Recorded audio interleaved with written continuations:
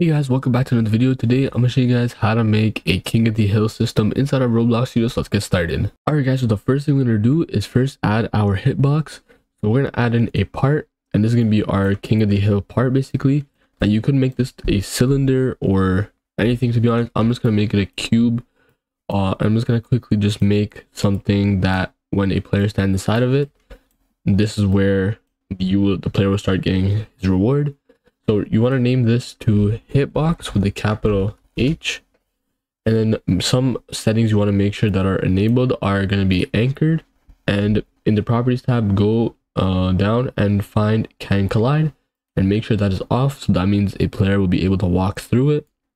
That way I'll just make this a little taller. So then you're still uh, counted as an if a player jumps or is a tall player, I guess. Make this a little bigger. And uh, I'll just add a little bit of transparency just a little bit just like that.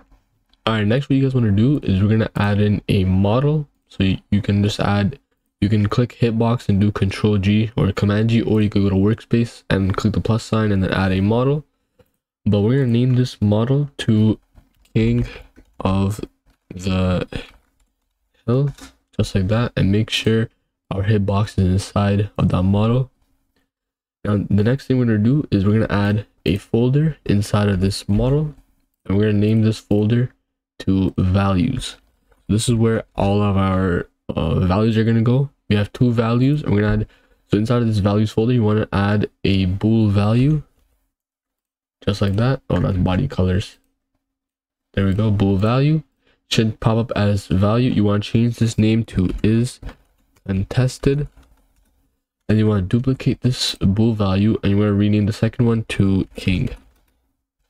Just like that all right so next what we're to do is we're to close off this model and we're to go to server script service and uh, we need to add our leader stat script. So i'm to rename this script to leader stats and we're to start scripting. So we're to start off again with local players is equal to game uh colon get players or get service and then oh this one players then we're gonna go down and do players dot player added colon connect function player. And then uh, we're gonna go down and we're gonna do our leader stats. We're gonna do local leader stats is equal to instance dot new. Uh, and we're gonna make this a folder. We're gonna go down again. We're gonna do leader stats dot name is equal to leader stats And then we're gonna go down again. Gonna do leader stats dot parent is equal to player. Now we're gonna add in our our our money value. So I'm just gonna do local cash. You could do local money. It doesn't really matter. Whatever you want to call call it. Coins, money, cash, whatever you want. And it's already done for me. So I'm gonna just do that just like this.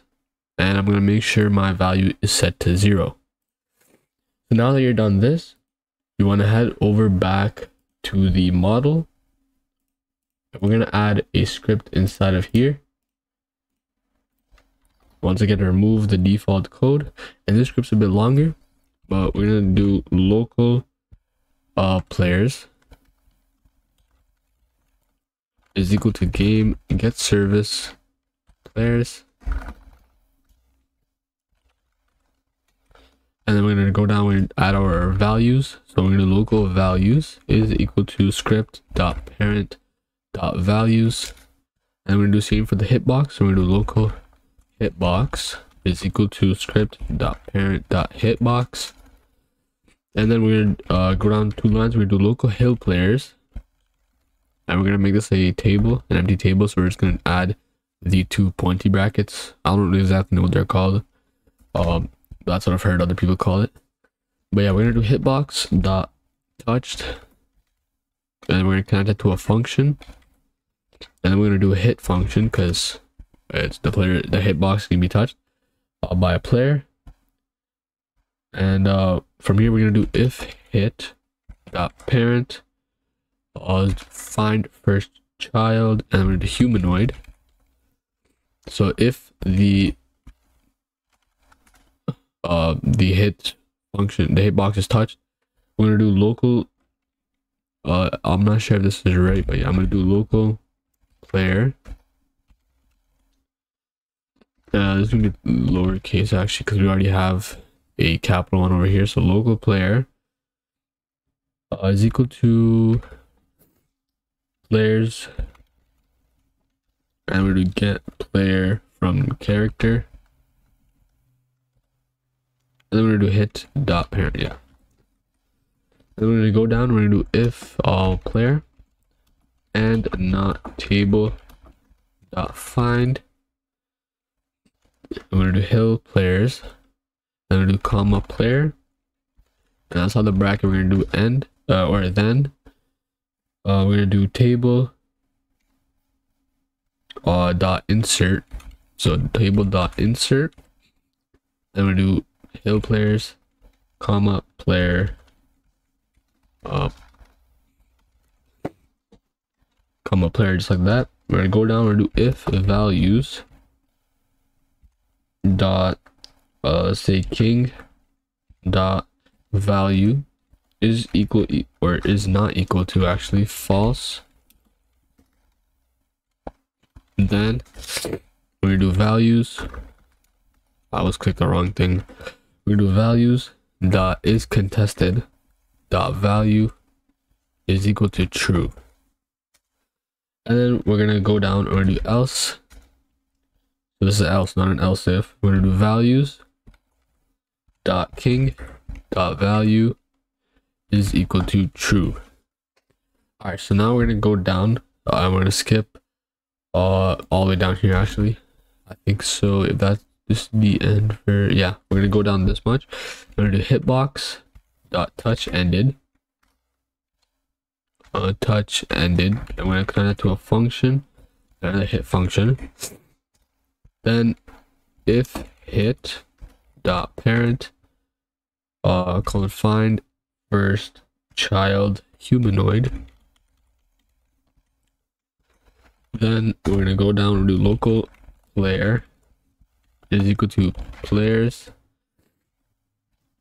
And then we do uh colon get player from character. Or to hit dot parent.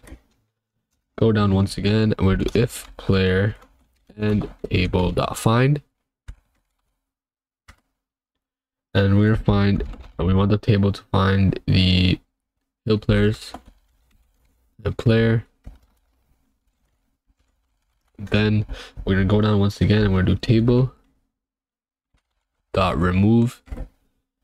And we're gonna do uh, hill players.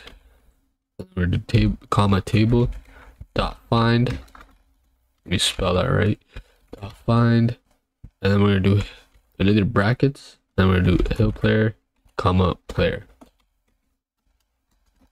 And you gotta make sure you got the right that you you have the right player down. So because we have two different types of players so let me fix the spelling here too.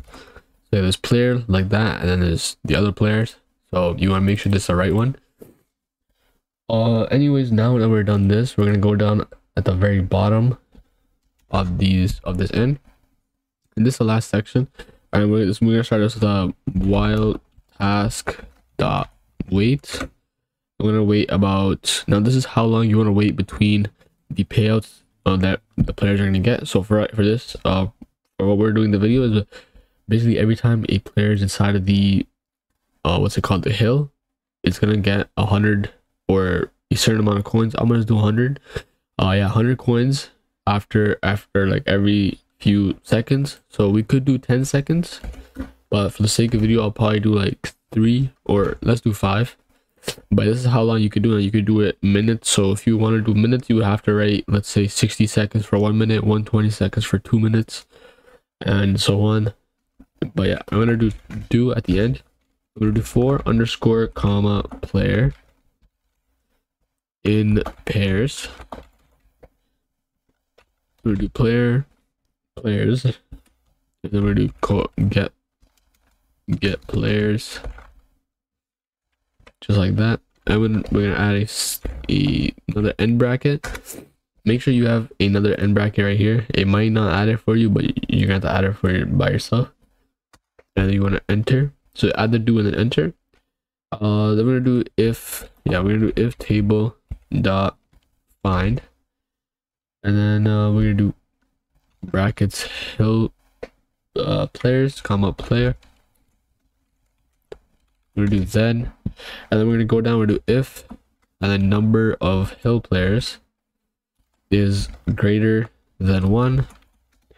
Then we're gonna go down and we're gonna do values dot is contested dot value is equal to true. And then we're gonna go down we're do values dot king dot value. Uh and then we're gonna do is equal to false we're gonna go down again we're gonna do else if? So oh, i think i went down twice. Bring that up a bit. All right so else if i don't know why i added a then. It's not supposed to do that. Well then's gonna come after that actually. But we're gonna do number of hill players as equal equal is equal to one. So you want to add two equal signs that means is equal to. And then uh we're gonna do values dot king uh dot value is equal to true. And then once again just like the opposite values dot is contested dot value is equal to false. We're gonna go down two more lines and uh let me just bring these up again. I don't know why i keep adding extra lines. Just like that i'm going to do the last line player dot leader stats dot cash. Oops. Leader i can spell this right. It's leader stats dot cash dot value. Now this is where how much you want to add. So i'm to do plus equal to i'm to do 100 but you could do whatever honestly. Basically if you want to add anything else uh like let's say a text label that pops up that uh player has now become the king i guess. That will come after this. You gotta everything you put is gonna be after this between these. So where i put this uh right after that, i guess you could put that in there. But i don't really have that type of um that type of like text label or anything. So i'm just gonna keep it this. And make sure when you write cash dot value it's the name of your cash or your money value over here. I'm doing cash because it's named cash over here. If you have money over here make sure you write money over here or else it won't work. Uh but yeah that's it for the script now we can go ahead and test it out all right so as you can see guys now that we're in the game the first script is working the leader stats i have the cash over here now once i enter here I have to wait five seconds and every five seconds I'm gonna get a hundred cash. Just like that, you got my first hundred cash. And then I wait another five seconds and as long as I'm in here, I get I keep getting a hundred cash. I got 200 and then now I'm at 300. Now until someone comes and kills me then I get out of here. Let's say I leave. To now, I don't, I'm not gonna get any more cash or else I could go around and get, get cash drops, I guess. But if I enter back in here, I'll wait five seconds to get the 400 and then wait another five seconds and then get to 500. So that's basically for this video. So hopefully you guys did enjoy. Hopefully this did help out. If you guys have any questions about the video or have any other video ideas, be sure to comment down the section below. And uh, yeah, that's it for the video. Thank you guys for watching and I'll see you guys in the next video. Hey guys, so as you know, if you saw my new community post on my channel, I have announced our next Robux giveaway live stream. It will take place when the channel does hit 3000 subscribers. Now there will be a separate information video that I will post when the channel reaches 2900 subscribers, which will give everyone enough time to enter. Now the rules will be the exact same as usual. You have to be subscribed to the channel, be in my Roblox group, and comment down your Roblox username uh, on the information video. Now, like I said before, the information video is currently not uploaded yet, and it will be available at 2,900 subscribers. But what you can do now is go ahead and subscribe to the channel and join my Roblox group linked in the description below of all my videos. And yeah, I'll see you guys then. Good luck.